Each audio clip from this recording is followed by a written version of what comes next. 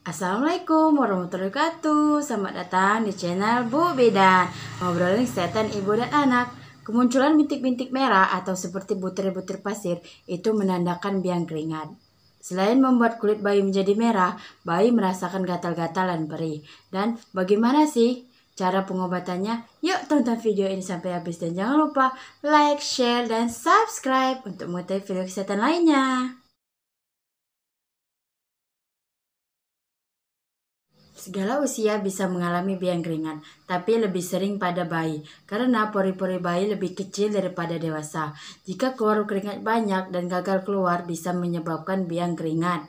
Bukan hanya kelihatan merah-merah, tapi bayi bisa merasakan gatal-gatal dan perih. Dan bintik-bintik merah juga bisa menandakan bahwa bayinya lagi kepanasan.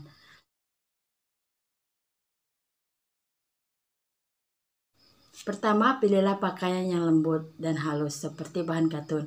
Ketika udara panas, jangan sampai membuatnya gerah. Seperti bahan nilon itu jangan.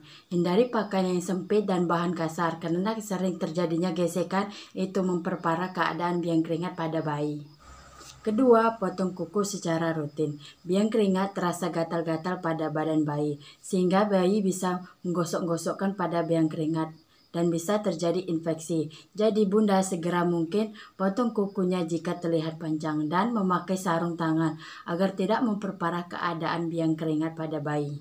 Ketiga, keluarnya keringat bisa mengurangi kadar air dalam tubuh, sehingga bisa terjadinya dehidrasi. Pastikan bayi bunda cukup minum, seperti ASI, susu formula, dan air putih jika sudah 6 bulan untuk mengganti cairan yang telah keluar melalui keringat sehingga tidak terjadinya dehidrasi. Keempat, kebanyakan orang tua memakai bedak yang tebal-tebal.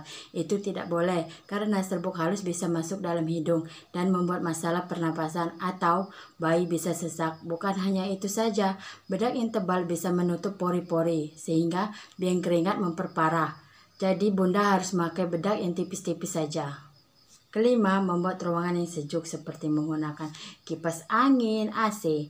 Jika menggunakan kipas angin, jangan sampai arahkan langsung terhadap bayi, karena bayi bisa kedinginan dan masuk angin. Tapi arahkanlah ke tembok agar anginnya bisa menyebar ke seluruh ruangan.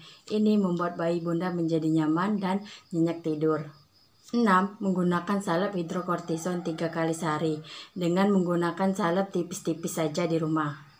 Ketujuh, jika bayi bunda makin parah seperti biang keringat memperbanyak, demam, dan makin rewel, bawalah ke dokter maupun ke bidan.